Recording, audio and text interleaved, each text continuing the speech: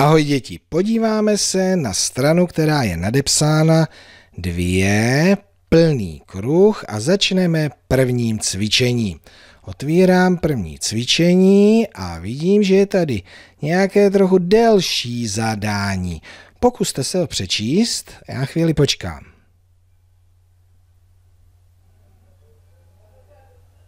Tak jak jste to zvládli? Ještě jednou společně.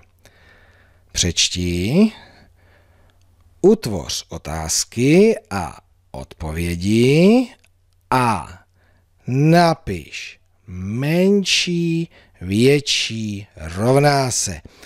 Tak tady je těch úkolů v tom zadání více, takže budeme postupovat. Takže přečti.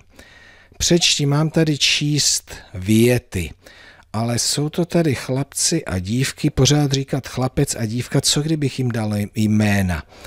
Tak, třeba tahle ta holčička by se mohla jmenovat Alena a já umím A, takže napíšu tam jenom její počáteční písmeno u jejího jména a tohle by mohl být Marek. Ten začíná na M. Tak přečtu ty věty. Alena má jednu housku, Marek má dvě housky. Tak co mám dělat dál? Utvořit otázku. Takže na co se zeptám? Kdo má víc? Alena nebo Marek? Kdo má víc housek? Tak, podíváme se tady na to znázornění. Jedna houska Aleny, dvě housky Marka. Jasně vidím, že jedna houska je méně než dvě. Zapíši znamenko menší. Jedna je menší než dvě. A vrátím se k otázce, kdy jsem se ptal, kdo má více, jestli Alena nebo Marek, a odpovídám, Alena má méně než Marek, méně housek. Tak, podíváme se na další řádek. Docela bych si chtěl pojmenovat ty kluky. Tak, třeba tentokrát bude tenhle na M a mohl by se jmenovat Milan a tenhle bude na A a bude se jmenovat Aleš. Tak, Milan má dva koláče, Aleš má jeden koláč, který z chlapců má více koláčů.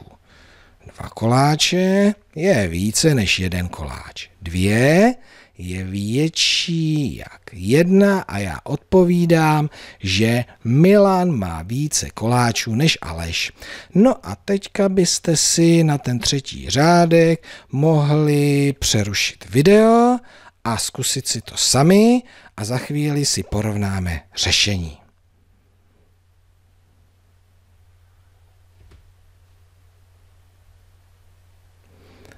Pojmenovali jste si ty děti? Tak já si je tedy ještě taky pojmenuju, takže tohle bude nam třeba Mirek a dívka bude na A, tak znám ještě Alena, Alice, Alice. Takže Mirek má dva rohlíky, Alice má dva rohlíky. Kdo má více?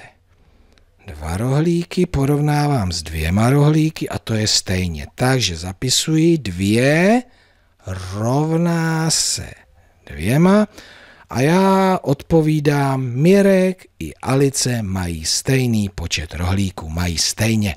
Tak a já tady vidím ještě takové cvičeníčko, kde bychom si to mohli procvičit víc. Takže jeden koláč, a teďka tady jsou dva kola. Je, to mi tam nedrží, teď je to dobře. No jo, já nemůžu něco přeskakovat, takže pozor. Teďka tam musím dát znamenko. A to tady vidím, že jedna, jeden koláč je méně než dva koláče, tak tam dám tenhle zobáček a teď už mi to tam drží. Jedna je méně než dvě. Tak a diktujte. Dvě, znamenko, který zobáček? Tady ten nalevo nebo ten napravo? Ano, tenhle ten je více než jedna. Dobře mi radíte, tak ještě dál. Dvě je více, ukazuj to, než jedna, výborně. Dál, pozor, jedna je méně než dvě a jedna a teďka tam bude ne méně nebo více, ale rovná se jedné. Teďka tady jsou dva rohlíky, to je stejně rovná se se dvěma rohlíkama, dvě rovná se dvěma. A ještě tady budeme mít něco, jo, ještě jedna rovná se jedné a ještě dvě je větší než jedna a ještě jeden příklad. Výborně. A Matýsek nás chválí, takže jsem se vrátil do cvičení. Já si myslím, že jsme se hodně podrobně seznámili s porovnáváním počtu jednoho a dvou kusů.